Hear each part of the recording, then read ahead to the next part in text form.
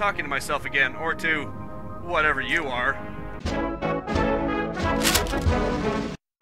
Hello, everyone! Welcome back to the month of Independence. Today on the agenda, In Other Waters. In other news, it's time for uh, In Other Waters. Baikal exoplanet extraction. Transitioning, please wait. I can't wait.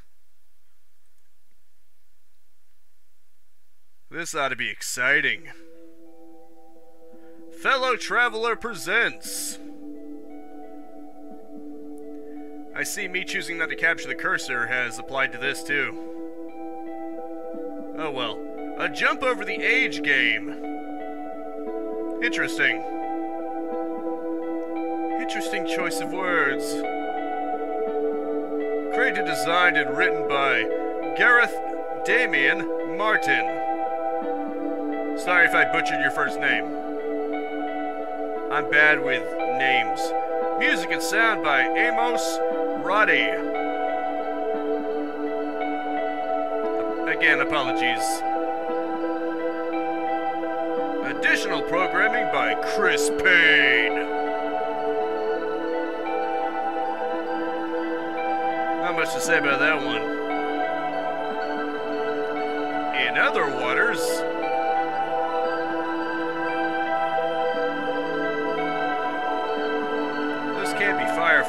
fireflies. They've got to be water organisms. Error detected. Well, that's not good. Rebuilding memory. Rebuilding memory. Huh, look at that. Nifty. Look at all those lines of code. Log recovered. User. Disabled. There's any time left. You gotta be more strict than you used to be. You are resourceful. I knew you. I'm sorry, okay? But I can't let them find you. I can't lose everything we've achieved. User disconnected. Continue with boot. Click. Booting. Oh, look at that. Isn't that lovely? Hello? Is someone there? This is Dr. Ellery Vas. I urgently need all systems of the suit activating. I've been locked out, and I'm 20 meters below the surface here. I say again, this is Dr. Ellery Vas. Can any operator persona personas on this suit please respond? I'll respond. Alright, good. Operator activate all systems. Pilot authorized granted. Scan plus topography. Utility. Okay, utilities available. Let's see. Sampling, sample storage, terminal, and retrieval seem to be installed. Power. The, the power panel is activating. Plenty of juice. Oxygen panel's up and rebreather functioning. I'm off reserve oxygen now. I'm seeing the heading panel coming online. Excellent. Okay, good. The dive panel is active. Currently reading of 20 meters. Scan and topography readouts coming through. Looking good. Oh, okay, I see. You don't seem to know what you were doing. You're not an operator, are you? I don't believe you. Operators are little more than voice-activated system dialogues. They don't respond like this. I knew there was something strange about this suit when I got inside. It looks decades old. Look, we don't have time for this, so whatever program or system you are, I need you to work with me. You seem to respond to voice commands, so that's a start. I... We... need to head north. I'll explain once we get going, but right now I'm locked out of half the systems of the suit. Someone, somehow, has rewritten the permissions to only respond to eternal messaging. That means you. So I'm gonna need you to take control. Let's get moving. Take me north, into the reef. Please. Okay, I'll try. Is that how you do it? Southern Gully. Steep rock walls rise up towards the surface on either side. Okay, I have no idea what I'm doing. So how do I take you there?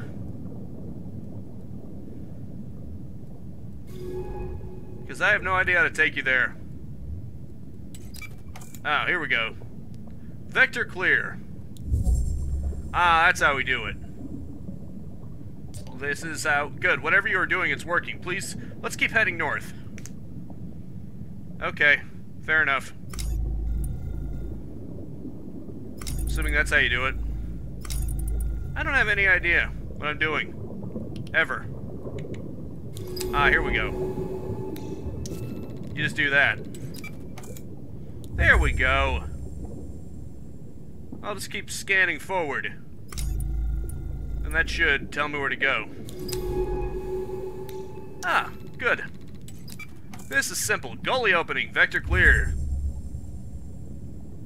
I'll get you out of here. No time flat, lady.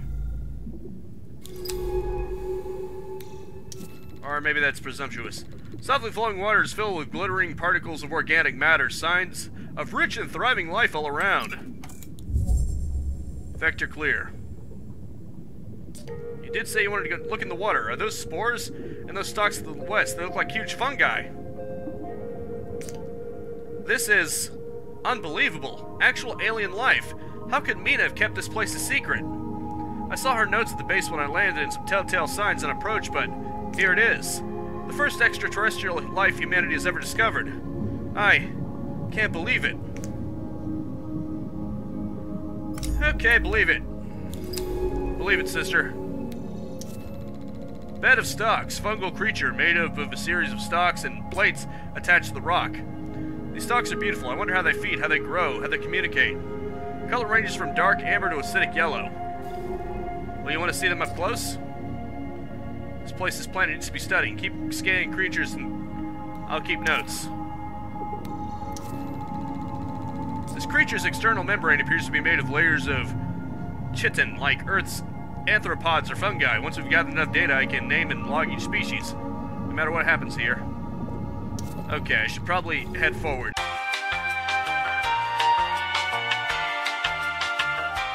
So, the game crashed and took OBS with it, which is ever so lovely. No, really, I love when that happens. Can't you tell? And now, for some reason, OBS isn't capturing it. Let's see if we can change that. Maybe if I just capture directly. Right now, it's just on capture any application. Let's specify in other waters. Okay. Oh, never mind. Um, it still has problems. Apologies. Did not expect this would happen. Transform. Stretch. Could have just pressed Control S. I did not know that was an option. Apologies. Bed of stocks. Right, I've already scanned that. I was about to do this. I guess it's a good thing the game at least kept my progress.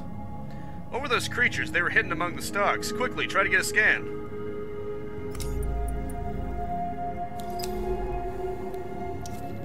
Agile creature striped with luminous colors.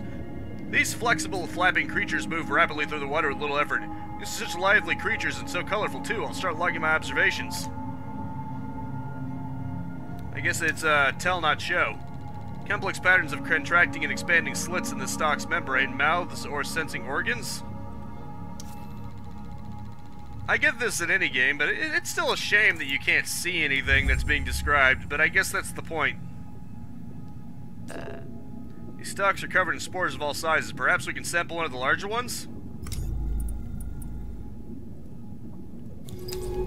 Maybe. Who knows?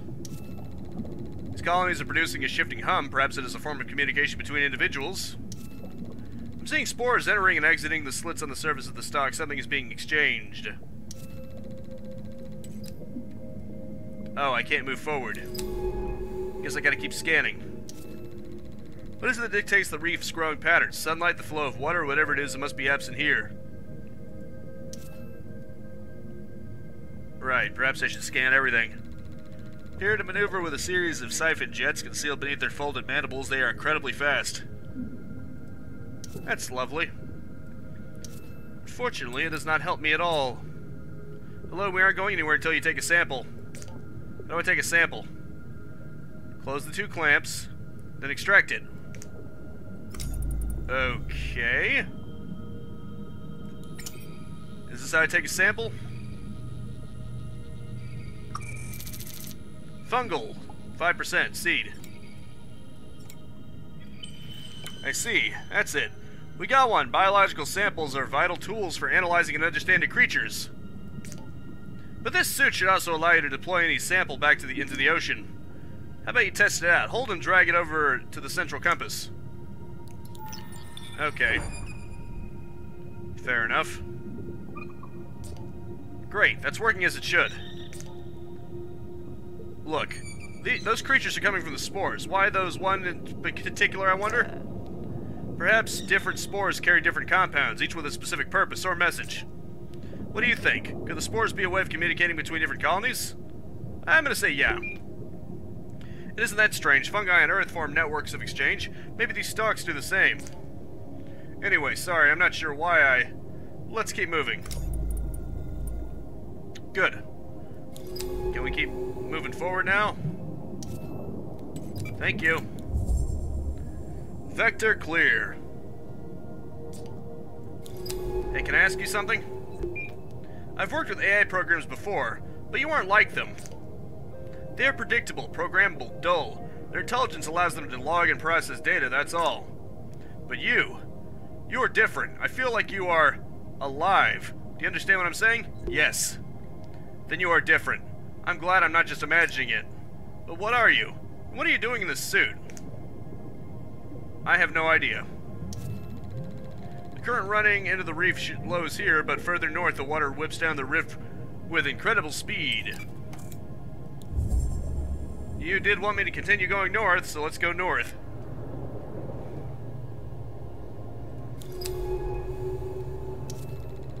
Colonies seem to be broken up into individual patches and then larger groups over a wide area. This arch is covered in hardened stalks. Perhaps the slow current passing through brought their spores to settle here. Wide and long, with sheer rock walls on either side, this deep rift channels unpredictable currents. Probably want to go this one then. Slow current. It'll be easier to navigate. Plus more spores.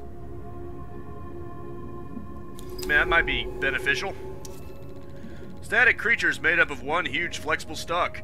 Unclear if swaying is due to current or is produced by the stalk's own body. These huge stalks are incredible, each one a vertical ecosystem. They're leaking spores to the water as the fruiting bodies attach to their skin bloom. Okay, cool. Fungal creature, which communicates through sounds and spores. I'm uploading my initial notes. Let's call these reef stalks. We can classify the species in the lab. An interlocking ecosystem seated across the reef. Data gathered. Neat. Many of these stalks are leaking particles into the water as they sway. Are these spores or something else? Hmm. These larger stalks sway all around the basin. They almost resemble branchless trees banding in a storm. Nifty. Well, let's keep going north then. Did you see that? The stalks responded to our movement. They expand extended as we passed through the arc. Perhaps it was the sound we made when we moved through? We should be careful not to get trapped in here. This suit's power capacity is limited. Possibly. The chitin of the stalk's membrane is very hard, but flexibility is given by a surface of overlapping plates. There's a lot of activity among the rocks ahead. Creatures are grazing on and living among the stalks, forming a complex ecosystem. Yes, better not get trapped indeed. Look, over the southwest. That stock is totally calcified. Looks like a good sample candidate. Let's see, the plates of the stock surface must be producing the distinctive humming that can be heard. These growths get heavier as we travel north into the stock forest. Something about giving it that name makes it feel safer, more familiar. These creatures must be related to the other stocks in the reef, but seem to have a separate purpose to the lower beds. This must be the one. Safe to assume the singing of the stalks related to the communication between the colonies seen elsewhere on the reef. This huge stalk is totally still. It's placed hardened into a rocky shell. Can it be revived? Or is that what death looks like here? Shelled creature. Mobile creature with a large translucent shell. And four swimming appendages which it uses in rapid motion. I'll start logging data as soon as we find them. Okay. Thanks for that. Let's uh, sample this. The hell? No, oh, right. That's just a place. My bad. Okay. Hmm. I thought that was how you sampled things. Or am I wrong? She said southwest. And that would be southwest. So I don't know. Oh, look at that. These creatures glide along the reef stalks with great care and precision. They appear to be grazing on them. Fungal creature. Fungal creature. Seeing these stalks. Right, let's... Vector blocked. Fair enough. Should I go back here?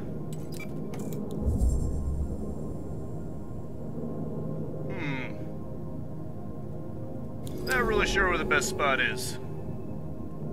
Oh. I can't go any further this way, can I? Overgrown arch, vector blocked. That's a shame. There we go. That actually makes things a little faster than just scanning it and then clicking on it. Oh, okay, here we go. See, I'm just being dumb. The stock looks dead. Open up the sampling panel and we can extract some of the outer membrane. There's a lot of dead material here, so we should be able to take multiple samples. Very well, then. No problem. How was that? Okay, so the chitin appears to be hardened with calcium carbonate. This could be useful when we need to boost our power. The space between the rocks here is thick with stalks. The elaborate patterns they trace across the reef are beautiful. Able to metabolize organic compounds to produce fuel, just drag them to the power panel. See displays how much oxygen or power each sample can produce. No point wasting important samples. With these, we can keep one sample so we can analyze it back at base and use the other one for a power boost. Sounds fun. Fungal, 50%. Okay, cool. Very nice. I guess I'll take a second one then. There we go. And of course no one, no other ones because I found the only two. Okay, large stalks which sway, producing a distinctive hum or groan, part of the network or stalks. I've named these sing stalks for that strange hum they produce. What is its precise function, I wonder? I have no idea. Let's go that way. Interesting. That creature is swaying back and forth. It's pretty cool. Okay. The rocks here are clear of stalks and other growths. Is their absence a territorial marker or just a side effect of the condition of these waters? I'm sure if I go over there, I'll survive. I'll be fine. Maybe probably not, but I can say I am. What's this creature? Flitting around the flitting around the reef, these creatures chase stock spores with great enthusiasm. Is this a primary food source? Agile creature. A large cavern drops down to the reef here. Its entrance is shadowed by the surrounding rocks. Well, sounds like a place for us to party down in, huh? I'm probably gonna die. Or my, the character that I'm controlling, steering, is probably gonna die. Southern Cavern. Water is still in the yawning entrance to the cavern. There are no signs of stocks or other reef-like around the substance entrance. In other words, dead man's land. Let's go there. Immediately. Oh. Oh, I see. Now I'm inside the cavern. Stock patches. The patchy sunlight coming through the broken cavern roof is enough to grow, allow stalks to grow here if that is what they require. Who knows? Southern Cavern.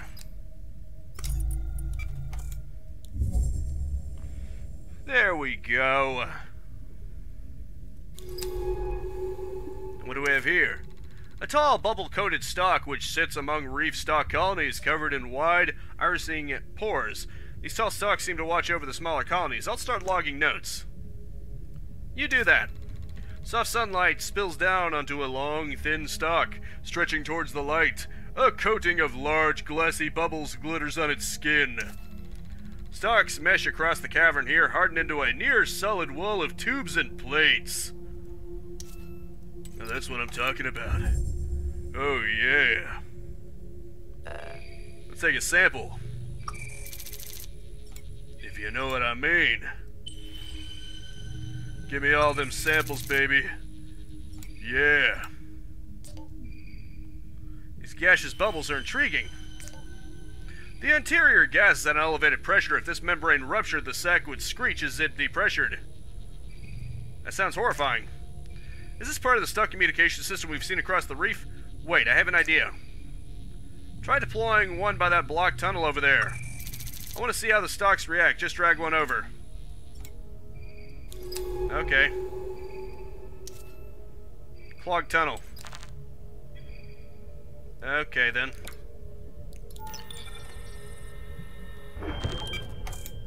Oh, look at that. Vector cleared. They retracted. These bubbles must be some kind of signal system. I'll call them shrill sacs for that squeak. We can use these to get through the heavy growth ahead. Awesome. Sounds amazing. Cavern curves away in both directions here. It's hard to see the way ahead. Now let's see what else is awaiting us in this adventure. So I guess you're wondering where we are headed.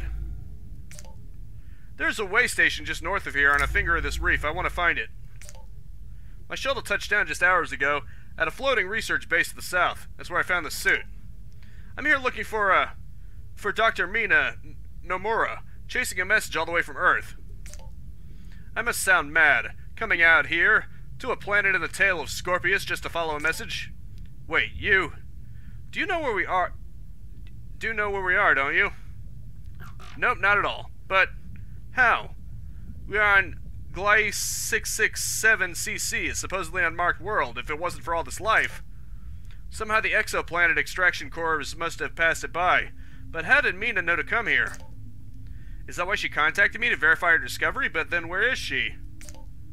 Look, let's find that way station, then I can start piecing together what's going on. Good idea. Well, I'm gonna move over there now. Let's keep going forward, I guess. And Scan the area. And once again, a current can be felt. Felt drifting through the cavern entrance, bringing with it warm clouds of silt. Sounds beautiful. What do we have here? Ah, that's how you enter it. Nifty! Stalks of this kind seem to produce different bubbles depending on the nearby stalks. They are the protectors to their colonies. This thin stalk sits among a bed of other growths, ex exuding bright bubbles through its pores. Coolio. Unseen process is shaping the growth patterns of this reef. What invisible borders am I crossing? Time to go into the danger zone, my friend. The scattered boulders and steep rifts of the southern reef suggest a violent geological past. Well, let's go into it. anyway, scanning away. Ah, look at that. Unlike the other specimens, this large stock sits alone away from the lower beds. And It is hard to tell if this is the beginning of a colony or its end. Nifty. Very nifty indeed. Let's scan the area. Stocks are much more sparse between these rock outcrops. This might be the easiest path north if I can clear the way. Alright. Luckily I've got two of these shriek sacks that my character calls them. Are thick here, a sea of amber, waving fingers that must be cleared before we can pass here. Right, let's try this. Bingo, baby! I are so smart. I are so smart. SMRT. Navigating these dense growths is like finding your way in a labyrinth, moving from clearing to clearing with little sense of what's ahead. In other words, fun. Now let's see. The growth patterns of the stalk suggest a complex territorial network. Are we underestimating the complexity of these life forms? Bubbles like huge pearls glint along the stalks. How do the tall stalks produce these strange screeching sacks? Some creatures target these tall stalks directly, perhaps because they keep them away from the other softer stalks nearby? You know, let's go over here. Get some more sacks. Let's steal more of their freaking sacks. Because, you know, that's a... Definitely not a weird thing for me to have said just now. Steal all their sacks. Of gas, presumably. Yes. Anyway. Let's clear it out. That's more like it. Isn't that better? A delicate set of feeding appendages beneath the creature's shell seems to scrape the outer membranes of the stalks away. Tall bubble-producing stalks that protect and monitor stalk colonies, a key part of the stalk network that stretches... I'm going to call these signal stalks for the signaling role they play in the stalk ecology. Okay, cool. More bubble-producing stalks. Are they sentry designed? Sentries designed for early warnings or last-ditch defenses of the colony core? I'm just gonna keep sampling. Why the hell not at this point? Why the hell not indeed? May as well just indulge or whatever. wonder if I can use these for power. That would be nice. Did that actually increase my power at all? East and west are stalks as far as the eye can see. They fade off in the silt like the towers of a miniature city. That's cool. Let's just keep going forward. We move forward. Spores from the stalks seem to be massing here in large clumps. Might be a good place to sample them. Occasionally, when the creature scalps the stalks too aggressively, they retract and let out a defensive signal to nearby colonies. There seems to be some tolerance for the creature scraping by the stalks. They only warn the creature when it cuts too deeply. Fair enough. We don't want to rock the boat or whatever. Sampling available. Bingo. Now we are certainly talking. Pop, pop, and got. Okay. There we go. Oh, it is increasing it a little bit. And I do mean a little bit. But, you know, better than nothing. Look at that. These creatures aggressively pursue certain spores but ignore others completely. Can they detect differences in mineral content? The relationship between these creatures and stock is unclear, but they camouflage themselves among the amber colonies. Neat. I think that's kind of neat. Don't you? Well, you Forget you. Forget you indeed. Last line of thick stalks before the sandy plains of the Central Reef. Take this. You weirdo. Trying to stop me? That's it, we are through. This place is overwhelming. So many new species. This is the Central Reef. I saw on Mina's maps that the shell shelf flattens out here. Cool. Does that mean full speed ahead? Ripples of silt bounce sunlight back up through the water, giving it a golden glow. Sounds cool. Now we just keep going forward. The center of the reef is rock and flat and sandy, with few rocks to attach to the stalks struggle to seed these waters. Right. Fair enough. Ooh, is this what I'm looking for? There it is. I see the way station ahead. Bitchin'. Let's do it. Let's see if she, she's probably not alive, but hey. The way station in question. This place looks a little worse for wear. Let me see if I can find an excess port. Mina never did take care of her equipment. Some things never change. Sorry. Give me a sec. I'm just trying to... Got it. Okay, we should be able to access any data stored here. Just open the terminal and take a look. Terminal available. Oh, I see. Link. Map data. Oh, look at that.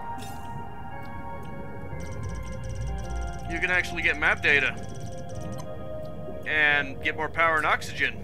Logs have been cleared, I expected that, given the security Mina seems to be operating under. But the map data mentions something Mina calls the Bloom, out across the Northern Rift. She's been going back and forth to something here, studying it. A unique species, perhaps? Mina, what were you doing here? Why were you keeping this discovery from the world? From me? I'm talking to myself again, or to whatever you are. Sorry, I don't mean... Let's head back to the research base. I need to think. With this way station operational, we can call in the base's retrieval drone from the utility panel. This drone will be able to pick us up from any area we've got map data for. Let's head to the base. I've got a lot to figure out. Okay. Connecting. Drone ready. Unfortunately, I'm over my time limit here. So, I'm going to have to say, safe mode resyncing with Vehicle OS, downtime 4.2 hours. That's fine. Hey, are you back online? Yeah, pretty sharp work for a biologist if I do say so myself. Hooking up that strange casing of yours to the base took some work. And the Ossier does not play nicely with whatever you are. But you should have access to select subsystems of the stack now. Mina looks to have repurposed some of them, so not everything is functional. Comms are shot, the generator is only partially working, and one of the retrieval drones is missing. But I booted up the dive bay's mapping systems and sample storage. The lab is also in line with analysis tools and an integral taxonomy for logging creatures. Take a look. I've already logged the creatures we discovered on our last dive. Any creatures, also put sample requests in their tax and, uh, taxonomy entries. To fulfill these requests, just find and transfer the samples to the lab, then analyze them. I can use that data to add to the creature study. We need to register these species. Head down to the lab level and take a look. I'll also mark sample requests on the dive map. That way we can grab key samples for our studies while we're out in the ocean. And we are going back out soon. While you're online, offline, I spotted a signal, a suit transponder. You can see its location on the dive map. I want to find it. A suit transponder means a suit, and a suit means Mina. I'll need your help. That suit takes both of us to pilot, and that's the only one I've got. Once you're done exploring the base, load into the dive, dive map, we can head out from there. And I will see you next time. Now go out there and capitalize on life. Peace out, have a good one, and have a nice and pleasant day. If you're a true gaming junkie, then feel free to subscribe and hit that bell icon to get your next fix. See you next time. If you enjoyed the content and want to stay up to date, I upload 10 a.m. and 2 p.m. Eastern Standard Time every single day. You can also subscribe and hit the bell icon or just check out the end screens right here.